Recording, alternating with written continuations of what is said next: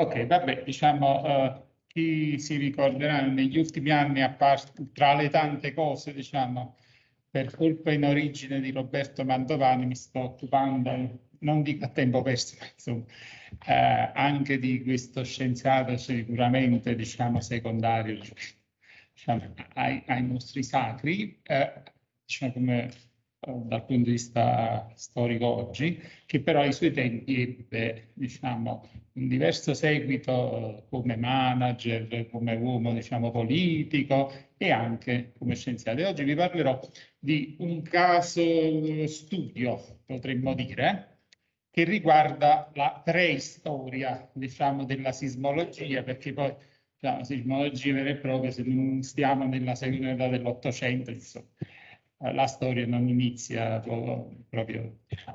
Um, e in particolare riguarda appunto, eh, eh, diciamo, eh, lo studio l'interesse è nato, eh, vabbè, si sapeva diciamo, che Poli aveva pubblicato una memoria sul terremoto del 1806 in occasione del terremoto nel Molise del 1805, e anche perché poi Poli è un personaggio eclettico, quindi non era, non era strana una cosa del genere, ma diciamo Qui eh, riguarda il fatto che l'anno scorso, poco più di un anno fa, negli archivi della Royal Society a Londra ho scoperto, ritrovato, non è che ho scoperto niente, un, manoscritto inedito del 1783 di Poli che diciamo, e poi da lì diciamo come si dice l'appetito viene mangiando, ecco questo è una, una una parte del manoscritto che poi l'inviò al presidente della Royal Society, Joseph Banks, per farlo pubblicare, per farlo leggere diciamo, a, davanti alla Royal Society, cosa che avvenne,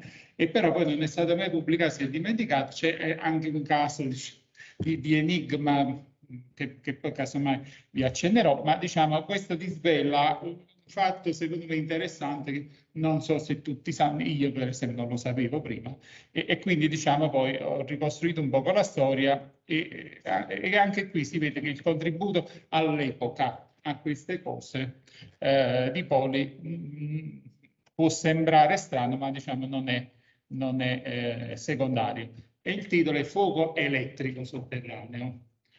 Allora incominciamo appunto un po' di preistoria sulla sismologia, basta andare a vedere la prima enciclopedia che non è quella francese, ma è l'enciclopedia di Chambers del 42. Cosa troviamo scritto a proposito dei terremoti? I naturalisti eh, sono di, naturalists are divided as to what the causes of earthquake are. Some ascribe them to water, others to fire, and others to air, and all of them with some reason sembra completamente distante, ovviamente siamo alla preistoria. E il tutto da dove nasce? Nasce sostanzialmente da Aristotele, se proprio vuoi andare all'antichità, che era stato il primo a parlare che i terremoti potessero essere dovuti a un vento sotterraneo che scuoteva la terra. Insomma, no? Poi nel, nel XVI secolo la cosa viene eh, un po' riformulata, questo vento dovrebbe essere dovuto a qualche fermentazione di qualche tipo, ma insomma più o meno è sempre aristotelica la cosa. Eh, all'inizio diciamo del 600 e 700 si, si passa dall'aria, se volete, eh, cioè si passa, si aggiunge più che altro, si aggiungono teorie, mettiamola così, più che, che se ne passa da una all'altra. Eh, invece dell'aria e l'acqua che si passa da una caverna all'altra, si scontra, produce de, de, delle cose, diciamo, questo è il terremoto, eh, e poi diciamo, all'inizio del, del 1700 eh, diciamo, si, si, si, si, intravede anche un'altra possibile causa che, che è il fuoco sotterraneo, connessione con i, i, vulcani, anche se non è questo quello a cui pensano.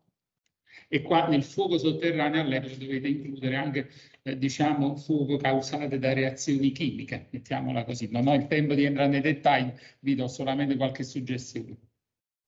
Il punto centrale dove incomincia quest'ultima ipotesi del fuoco rispetto all'aria e all'acqua a prendere corpo, diciamo, più delle altre, è un esperimento modello fatto nell'anno di grazia 1700 da Nino Nicolas Lemery, eh, controverso perché diciamo a volte a luce era riuscito, ripetendo non sempre riuscito E, e, cosa si succede? Succede che se voi mettete un po' di limatura di ferro, un po' di polvere di zolfo, che è quello che si trova sottoterra delle viriti sostanzialmente, magari lo inumidite un pochettino, eccetera, eccetera, succede una reazione, come diceva lui, effervescente che, che simula diciamo, una conflagrazione vulcanica e, e, si scuote qualche cosa. Insomma, l'esperimento è controverso perché eh, chi lo tenta di riprodurre a volte riesce, a volte non riesce. Però, diciamo, c'è questa cosa qui, diciamo, che, che, che eccita la fantasia di, degli scienziati dell'epoca. Nel Settecento, però poco dopo questo, intorno alla metà, ma un poco prima, il Settecento, sapete, è l'epoca, il secolo dell'elettricità, se vogliamo, entra in scena l'ipotesi elettrica, che può sembrare una cosa completamente, se nessuno diciamo, sapeva prima di questo caso, come me, tra parentesi, eh, può sembrare una cosa completamente strana e invece non lo è per niente. Eh, praticamente quello che succede è che diciamo le tre cose che abbiamo viste prima, aria, acqua e fuoco, gradualmente, ma neanche tanto gradualmente, vengono sostituite dall'elettricità sostanzialmente. Qui sono termini che si usavano all'epoca per far, eh, che ho messo insieme per far vedere il, il rapporto aria, vapore elettrico, invece di acqua, fluido elettrico e invece di fuoco, fuoco elettrico. Ovviamente sono, sono, sono sinonimi, chiaro, però giusto per... Eh? Eh, da, cosa, eh, da cosa, diciamo, cosa viene pensato. Vabbè, a parte l'elettricità va di moda e quindi si vuole vedere dappertutto, questa diciamo, è la cosa generale che sta dietro.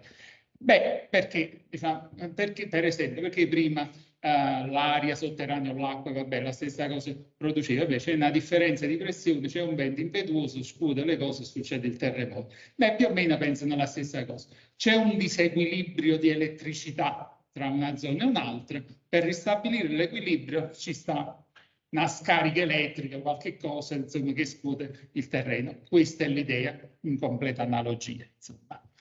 Eh, perché diciamo, poi la gente incomincia a crederci e diventa anche abbastanza dominante questa cosa? Perché poi effettivamente eh, trovate in tutte le descrizioni dell'epoca, e veramente ce ne sono tante, sono impressionanti, tutta una serie di fenomeni, di, tutta diciamo, una fenomenologia, cioè di osservazioni sperimentali, le chiamerei empiriche, diciamo più che altro, che effettivamente se, se, se voi le leggete senza sapere niente, mettiamola così, eh, dici, ah, eh, sicuramente è così, insomma, perché sono anche, a volte sono pure abbastanza stringenti. Eh, perché per esempio si, si, nota, si, si annota che magari durante un terremoto si, si, si, osserva un fulmine, un bagliore di folgore, eh, ci stanno anche scosse elettriche. Addirittura, diciamo, può sembrare una cosa ridicola, ma vengono descritte da, da, da diciamo, scienziati seri, diciamo, non, non, non da osservatori della domenica, disturbi isterici, diciamo, eh, dei dolori, diciamo, così che si erano messi in connessione con l'elettricità che venivano o poco prima o poco dopo diciamo, il terremoto e, come si spiega? Ah, e che allora la causa deve essere di natura elettrica perché è il terremoto che induce queste cose. I primi supporters eh, Diciamo, in genere trovate nella letteratura che questa ipotesi elettrica del terreno sulle cause del terremoto è dovuta a Franklin, non è vero. Eh, I primi supporters sono degli inglesi, io più indietro di questo non ho trovato niente e anche nella letteratura secondaria più o meno a questi si, si, si, si rifà, che sono William Stukely, Stephen Hales e qualcun altro, sempre inglesi. La suggestione da cui nasce, che però diciamo, poi si rifaranno soprattutto gli italiani, che sono più umanisti rispetto agli inglesi, è una suggestione qua non c'entra Aristotele, ma c'entra Plinio il Vecchio, se proprio dobbiamo, perché nella naturalista storia che trovate, diciamo, anche lui si era occupato di questo, e lui aveva, messo, aveva osservato una connessione tra quello che succede in cielo e quello che succede in terra. Neque aliud est in terra tremor, quam in nube tonitrum, un terremoto è l'analogo di un tuono di quello che succede. E se nel Settecento mettete insieme il fatto che i fulmini si scoprono di natura elettrica, fate 2 più 2, diciamo. Eh, cosa ci si immagina? Diciamo, ci si immagina che ci sta uh, una sorta di attrito tra atmosfera e superficie terrestre che produce uno squilibrio di, di elettricità tra l'elettricità terrestre e l'atmosfera e questo innesca un terremoto. Questa è, diciamo, la logica. Uh, perché qua il terremoto degli italiani? Perché un, un, ruolo fondamentale in questo caso studio de, del terremoto elettrico, così lo, vabbè, non l'ho chiamato io, insomma, eh, fu, fu, svolto dagli italiani per una ragione semplice, per, per due motivi molto semplici. Allora, l'ingrediente fondamentale ovviamente era, e perciò poi qualcuno lo faceva eh, risalire a Franklin, L'ingrediente fondamentale è una teoria di Franklin che permette diciamo, che si, si possono accumulare cariche dall'esterno del corpo elettrizzato piuttosto che eh, diciamo, eccitazioni di materia interna. Se non avete questo non può succedere il disequilibrio che, che dicevamo prima.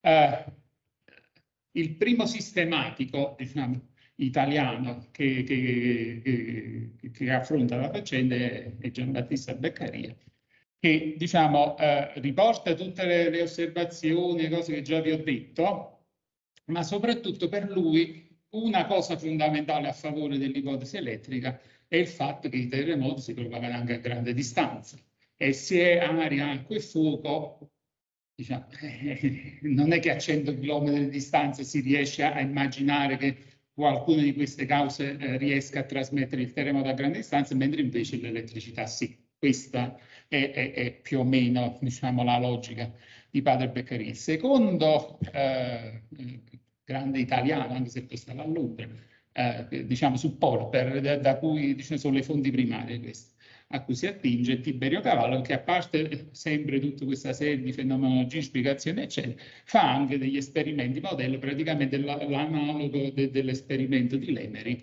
che diciamo fa de, degli esperimenti in cui tramite scosse elettriche, eccetera, si simulano, tra virgolette, fratture o cose strane, eh, come si producono in terremoti. Ovviamente è chiaro che, che oggi magari possono far sorridere, ma insomma. Uh, e Cavallo riporta dettagliatamente nel suo trattato, e qui anche tutta una serie di, di altre fenomenologie a conferma delle ipotesi, appunto, durante, riporta parecchie osservazioni, eh, diciamo, giurate, se volete, eh, di, di, di, si osservano fulmini durante le esplosioni vulcaniche, tenete presente che non è all'epoca strettamente, eh, diciamo, la gente che, che, che diciamo, dava per scontato il nesso tra terremoti e vulcani, però diciamo, qualcosa aveva a che fare perché sempre sottoterra era, questa era l'idea eh, tuoni e fulmini durante i terremoti, eventi sismici, eh, ecco qua una delle cose. Si era notato che gli eventi sismici erano più frequenti d'inverno che non in estate, mettiamola così. E questo si mise subito in connessione col fatto che eh, in inverno c'è una maggiore accumulo di elettricità atmosferica, mettete insieme le due cose e un'altra prova a favore dell'ipotesi elettrica del terremoto. Eh, Cavallo non è il primo e non è manco l'ultimo, allora, visto che Franklin, il parafulmine, eccetera, eccetera, se è vera sta cosa, possiamo fare un paratremoto, come si, si diceva all'epoca. E infatti eh, alcuni italiani, eh, seguendo la suggestione di Cavallo e di altri, realizzarono, poi mettete una bella spranga di ferro nel terreno, magari evitate il terremoto. Insomma, no? Fu diciamo, eh, provata, diciamo, eh, provata non nel senso che a, prevenire il terremoto, fu, fu, fu messo in atto, fu realizzato più di un paraterremoto. Allora, come vedete, diciamo qui il collegamento eh, dell'ipotesi elettrica sulla natura dei terremoti è collegato diciamo, a quello che succede nell'atmosfera. Io qui eh, di proposito non lo chiamo elettricità atmosfera, ma elettricismo per, vabbè, non l'ho inventato io il termine, ma eh, per sottolineare diciamo, la natura empirica più che, che diciamo, fisica vera e propria della cosa. A Napoli e Londra, perché qui appunto entriamo adesso nel personaggio. Eh, Giuseppe Savariopoli era ben noto che si era occupato di elettricità, di elettricismo atmosferico, era uno scienziato molto attento eh, a fare esperimenti, osservazioni, eccetera. Eh, no, non vi faccio tutta la lista di quello che aveva contribuito in questo settore, però diciamo alcune cose, per esempio, questo opuscolo del 73 eh, dimostra, tra virgolette, che eh, praticamente tutte le sostanze riescono a diffondere eh, l'elettricità e questa si può distribuire non solo sulla superficie ma anche all'interno. Eh, è lui che in occasione di, un'aurora boreale che osserva lui stesso a Napoli eh, capisce che questo è causato diciamo, dal fuoco elettrico e, e, fa degli esperimenti per cui con le macchine elettriche a disposizione a, diciamo, al gabinetto di, di reale che, che, che, sta a Napoli di Firenze più che altro più che reale. Comunque eh, scopre che diciamo le macchine elettriche possono produrre aurore boreali, diciamo, che quelle naturali hanno influenze anche sulla bussola, non è l'unica scoprire, ma fa l'esperimento in nota. Questo, eh, eh, l'elettricità può essere, eh, dalle, durante il lavoro mettete diciamo, un parafulmine, diciamo, questo accumula con le punte metalliche elettricità, e, e, poi durante le, le aurore boreali si sentono dei crepitii esattamente come quando succede una scarica, una scintilla elettrica e quindi anche qua fate 2 più 2.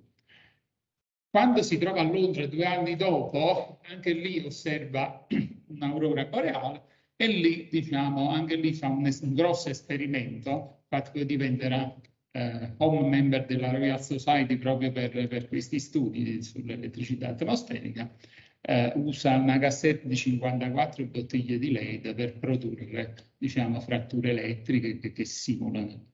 Vabbè, diciamo, qua non sta pensando ancora ai terremoti, però eh, non sta pensando ai terremoti perché non è stato ancora coinvolto in nessun terremoto, però poi sfrutterà questa cosa. Come si testano queste teorie, le chiamo così per intenderci tra di noi? E eh beh, qua dovete aspettare che succeda un terremoto e, e fare, diciamo, l'esperimento seguendo il metodo galileiano, questa sarebbe una cosa. E qui troviamo la seconda, eh, diciamo, eh, motivo per cui si sviluppa soprattutto in Italia. Il primo motivo era che in Italia erano molto ferventi gli studi di elettricità e infatti poi produrranno volte, galvani, volte, eccetera. La seconda cosa qual è? E beh, perché in Italia, soprattutto nel meridione, eh, è una bella terra ricca di, di attività sismica e quindi le opportunità non mancano. In, nel Settecento ci sono due grandi opportunità. La prima, dove praticamente inizia, si inizia la, la preistoria della sismologia, non c'entra l'Italia, ma il grande terremoto di Lisbona del 1755, avvertito in tutta Europa, perfino in Nord America, in Nord Africa, eccetera, eh, segna l'inizio, come scrivo qua, degli studi, tra virgolette, serie di sismologia, eh, si, ci si incomincia a domandare eh, qualcosa su che cosa causano i terremoti, però diciamo non è qui veramente che si incomincia a giocare, perché? Perché si capisce che si devono accumulare dati, eccetera, eccetera, e però qui non, non succede, succederà nell'evento di dopo. L'evento di dopo ce l'abbiamo in casa, che è il grande terremoto di Calabria del 1783 tra cioè, le vicende stanno nella punta sud della Calabria, Oppido, cittadina di Oppido, insomma, tra Messina e Reggio Calabria, diciamo così.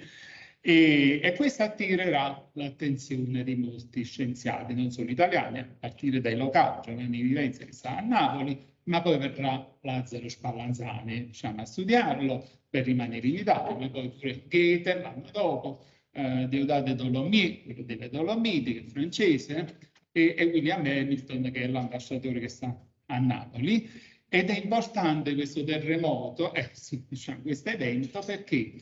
Perché il regno di Napoli, eh, Ferdinando IV di Borbone, appena gli arriva la notizia, stabilisce pure la prima spedizione scientifica al mondo dedicata esclusivamente di scienziati dell'Accademia Reale delle Scienze di Napoli da mandare in loco per studiare la cosa. È la prima volta di una spedizione scientifica eh, appositamente organizzato. Il terremoto, eh, la prima, eh, il terremoto, diciamo, non è il terremoto, è una lunga serie di, di terremoti. La prima scossa forte si ha la notte del 5 febbraio, come vedete magnitudo 7, insomma molto distruttiva. Tra il 5 e il 7 febbraio continuano le scosse, come vedete magnitudo 9-10 della scala Mercalli, prima era 11, quindi insomma, eh, un bel po' di cose, ma poi praticamente fino ad aprile più o meno giochiamo sempre su queste cose, quindi vi immaginate il patema d'animo delle popolazioni, ma poi terremoti, cioè le scosse di assestamento di terremoti, gli aftershock durano per circa dieci anni e perciò poi vengono in Italia l'anno successivo, poi Gate, Dolomie, eccetera, perché insomma, ma questi non finiscono più, andiamo a studiare. Insomma.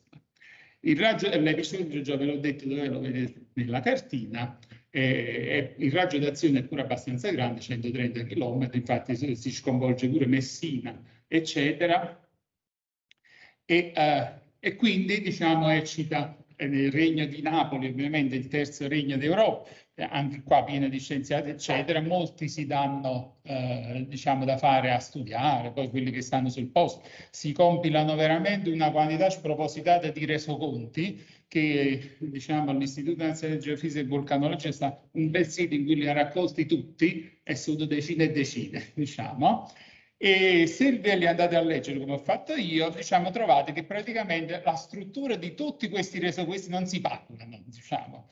Eh, da marzo fino all'anno successivo trovate decine e decine di resoquesti. Praticamente non si parlano, ma la struttura, eh, le strutture di tutte queste resoquesti sono tutte simili tra di loro. Ovviamente, dove e quando, determinazioni precise de, delle varie scosse, eh, gli effetti prodotti e questo magari diciamo se l'aspetta, rapporti dettagliatissimi, ma poi anche tutti quanti riportano, sono molto dettagliati anche nel riportare le condizioni meteorologiche, prima, durante e dopo, che uno non se l'aspetta.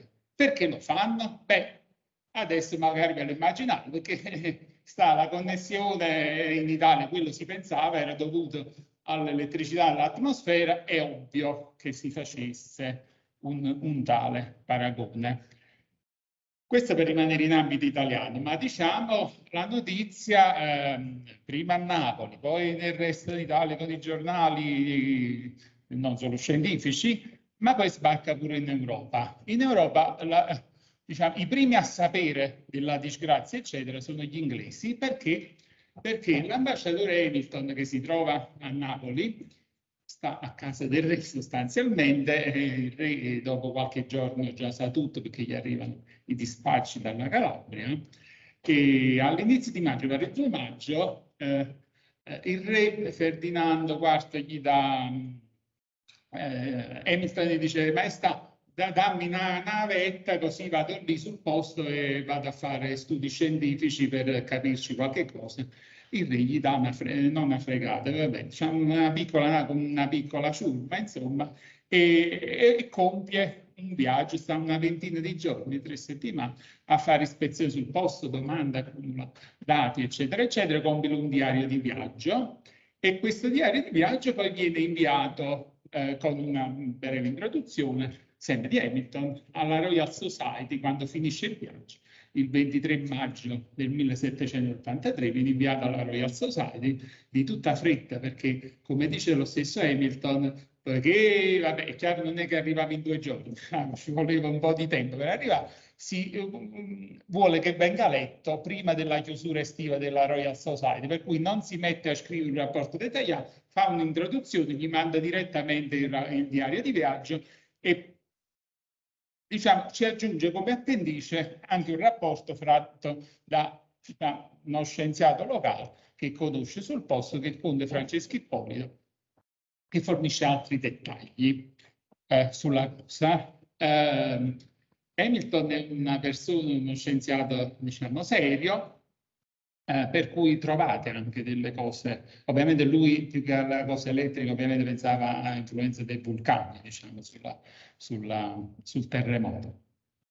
C'è l'Etna a poca distanza, diciamo così, e non solo. Um, e trovate anche delle osservazioni scientifiche accurate, per esempio ne ho riportata una che, riporta, che osserva che i, i, palazzi più bassi sono quelli più danneggiati rispetto a quelli più alti, eh, diciamo alla stessa distanza dall'epicentro, e qui, da questo deduce che eh, il terremoto è qualcosa che succede sottoterra, perché se state più vicino a terra succede di più invece che se state più in alto.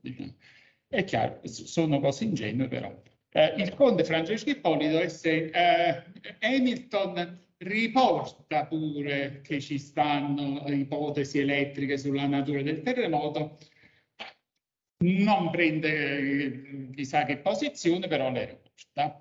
Eh, il conte Franceschi poi invece, essendo italiano, è un poco più a favore di questo e, e, riporta per esempio alcune osservazioni che prima del terremoto il suolo è riscaldato e dopo si vede delle fiamme biancastre uscire dalle fratture, quindi eh, si collega subito al fuoco elettrico. Beh, immaginate qui qui le cose. Oltre a tutta una serie di altre cose, a parte i disturbi isterici che dicevo prima, l'acqua diventa, prima era potabile, poi è disgustosa, sa di zolfo, oppure viceversa, quello prima disgustoso poi diventa potabile, eccetera, eccetera, eccetera. E tutto questo viene eh, osservato.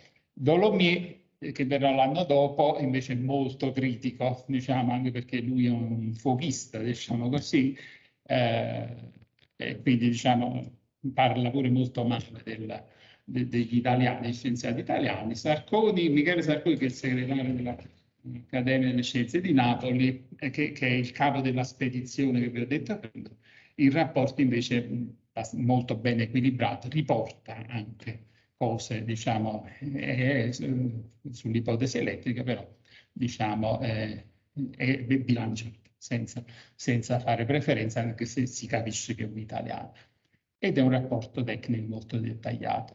La posizione degli elettricisti italiani in tutti i rapporti che fate invece diciamo più o meno sono tutti orientati sulla natura elettrica del, del terremoto a partire da, da, Giovanni Vivenzi che è il primo trattato diciamo, organico sulla cosa dell'83 lo stesso anno ma poi verrà fatto pure un ristampe allargamento qualche anno dopo un grosso successo le fonti principali sono Beccaria e Cava, quello che ho detto prima. L'ipotesi è quella che vi ho detto e trovate appunto che c'è un giornale tre modi che c'è giorno per giorno le scosse, gli effetti, eccetera, e, e questo magari per, per, diversi mesi, seguito diciamo, da un giornale meteorologico, perché era scontato che, che, fosse così. Ma qui troviamo anche una cosa simpatica che riporta solamente lui, che per lui è la prova definitiva, che un fisiologo, diciamo così, scopre che cosa, che c'è sta una spranga di, te, di, di, di, ferro messa lì durante il terremoto che si vede, si vede uscire delle, delle fiammette da, da, da, questa luce, il parafulmine all'incontrario, insomma sostanzialmente. È la prova è l'elettricità la causa del terremoto. No. Uh, il manoscritto inedito è, è, si inserisce in questa, in questa filone il, eh, sono 19 pagine, il manoscritto. Così eh, il titolo che ho riportato non è contenuto nel manoscritto, probabilmente il manoscritto ci manca qualche pagina all'inizio, e allora da dove lo, eh, non c'è il titolo. Eh, e nella, negli archivi della Royal Society è solo scritto eh, Earthquakes in Calabria, è lo stesso titolo generico che è dato ad Hamilton. Um, da dove l'ho preso questo? Perché eh, evidentemente Banks faceva pure delle, cioè de, de, delle copie, diciamo, in previsione delle cose ed era stata venduta la copia del manoscritto originale, originale sta alla Royal Society. Questa copia scritta così è stata venduta a un'asta e, e evidentemente invece c'era il manoscritto completo, la copia del manoscritto completo, però ovviamente non sappiamo a chi è stata venduta, però il titolo c'era e quindi è questo qui.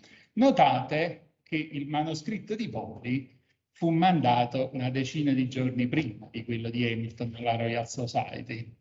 Probabilmente viaggiavano entrambi sulla stessa nave, quindi non credo che sia arrivato prima quello di Polly che quello di Hamilton, ma probabilmente insieme.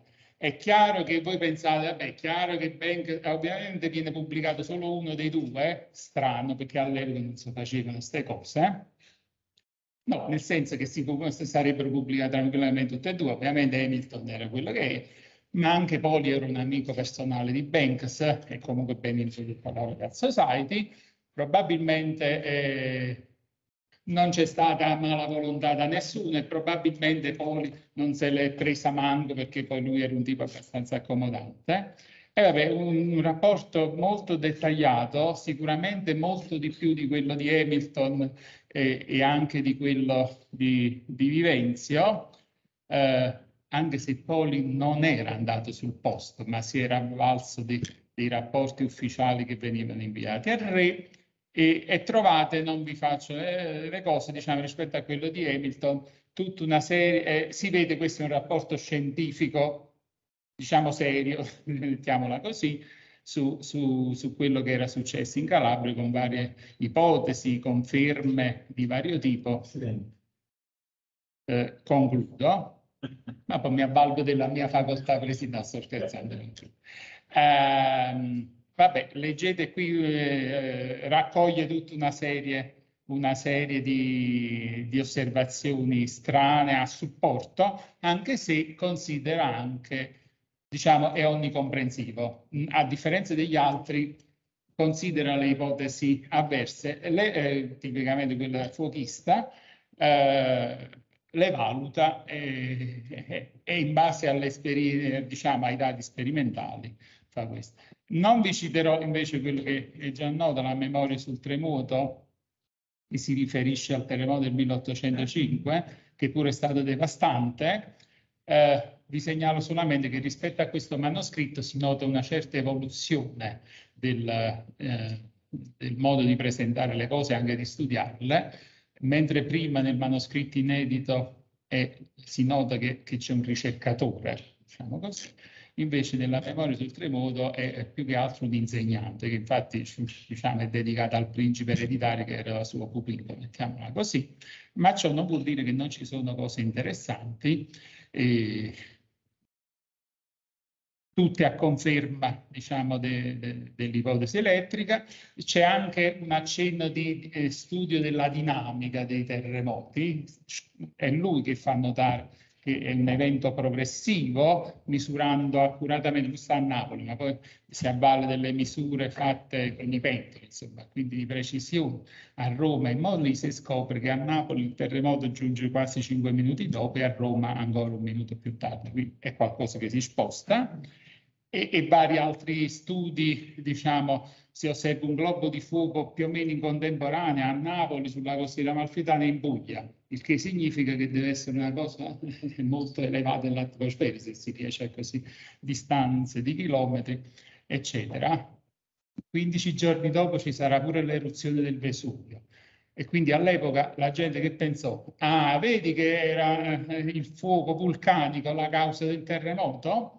Perché se no, perché sarebbe successo l'esplosione, la, la cosa del Vesuvio. Invece lui farà notare, nella sua teoria, che invece è esattamente il contrario.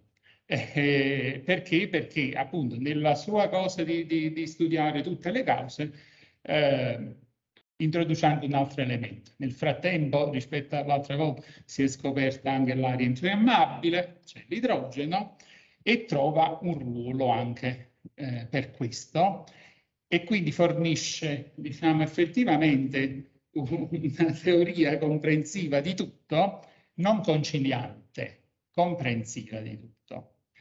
Eh. Può sembrare strana la cosa, all'epoca, eh, diciamo, il modello fuochista e il modello elettricista stavano esattamente sullo stesso piano, godevano più o meno della stessa popolarità, in Italia più l'uno che l'altro, all'estero più o meno in viceversa, e, e, non è certamente preferibile nessuno dei due su, sulla base dell'epoca, perché, perché, entrambi si basavano esclusivamente su ragionamenti empirici, qui non c'è, ovviamente siamo alla preistoria, e eh, l'approccio originale di Poli, così possiamo dire, è che non è diciamo, con i paraocchi, ma considera tutta la fenomenologia, appunto, anche l'aria infiammabile e altre cose che non ho detto. Il limite è che è semplicemente puro empirismo, quindi è chiaro. Così, ma non pensiate che diciamo, non ha avuto un seguito, almeno in Italia, alla fine dell'Ottocento. Ovviamente eh, la cosa muore, l'ipotesi elettrica muore all'inizio dell'Ottocento,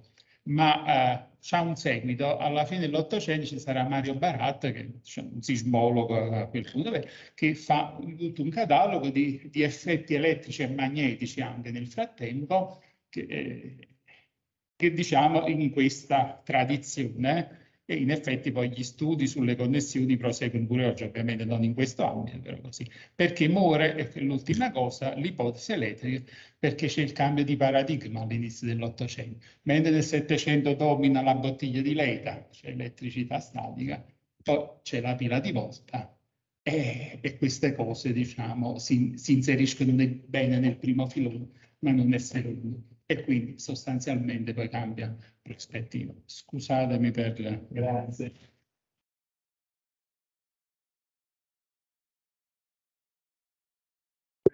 Tempo, ma c'è qualche domanda. Era un divertimento, ovviamente.